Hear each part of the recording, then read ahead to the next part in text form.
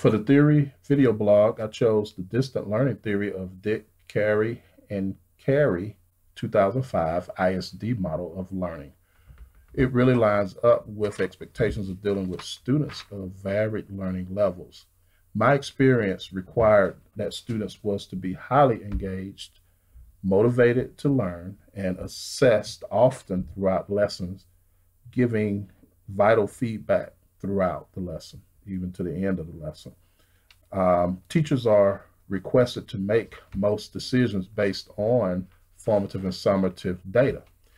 The Dick, Carey, and Carey's ISD model in relationship to assessment instruction, learner analysis are driven by the objective targets definitions. Um, the strength of this model is that it addresses differentiated instruction in terms of student needs. It is systematic in its approach, which would favor a teacher's need for direction guided throughout the lesson process. Or, I'm sorry, the learning process.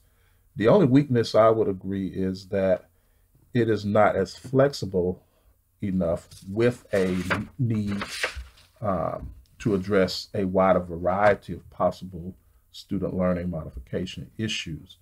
Um, thanks.